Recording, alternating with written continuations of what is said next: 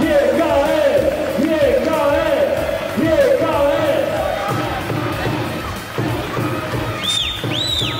Naprawdę rekord jak tsunami na bramkę. Jeszcze raz Kolar. Kevin Kolar, jak jest w transie, to broni wszystko. 8 goli zdobytych w tym sezonie Futsal Ekstra Klasy, a teraz bardzo mocne uderzenie Pablo Rodrigueza. Spójrzmy jeszcze raz, jak tutaj do tego doszło. Też po raz kolejny dobrze ustawiony Brian Mera. Jean Carlos, lewa noga, rykoszet!